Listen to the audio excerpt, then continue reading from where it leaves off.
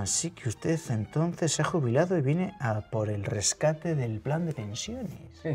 Eh, sí, sí, sí. Eh, me toca descansar. Eh, son muchos años trabajando y, y, merezco un poco de paz.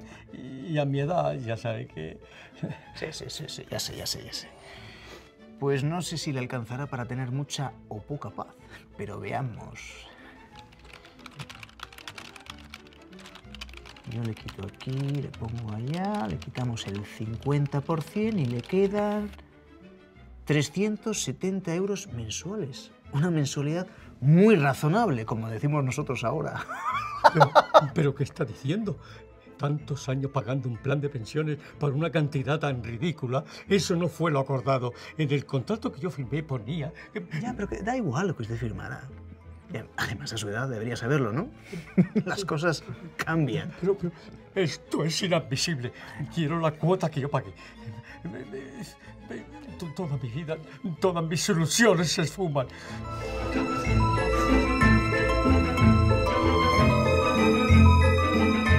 Si te parece que esto no puede pasar, te equivocas. Ha pasado.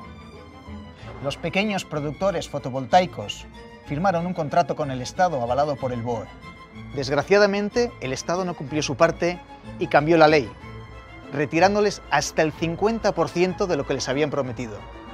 El resultado, 62.000 familias arruinadas.